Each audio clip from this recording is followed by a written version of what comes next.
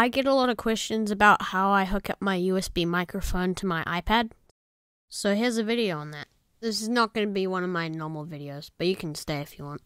I'm gonna fall. So a regular old boomer would tell you that USB microphones only work on computer, but no. Um, they work on iPad, so I'm gonna show you that.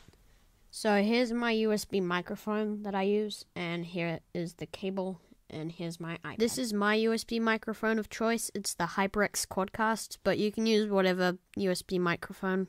It works. All of them work. So this is a camera adapter. It's not meant to be used for this, but like it works fine. So there's a little USB input that you can put your USB microphone into, and then the little Apple connector wire thing. So this bad boy goes straight into your iPad.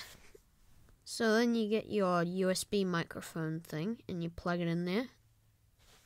So this will work on the normal camera app as well, just recording, so it doesn't have to be on iMovie.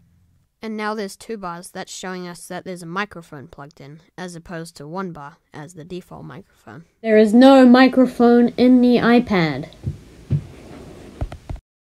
And now there is. It's a lot cleaner, so I recommend if you want to have good quality picking up a USB microphone. So if this video helped, you can watch some of my other videos, um, or you can hit that subscribe button. You see that? I just green screened. If you want to see me do a tutorial on how to green screen on an iPad, uh, I'll do it. Bye.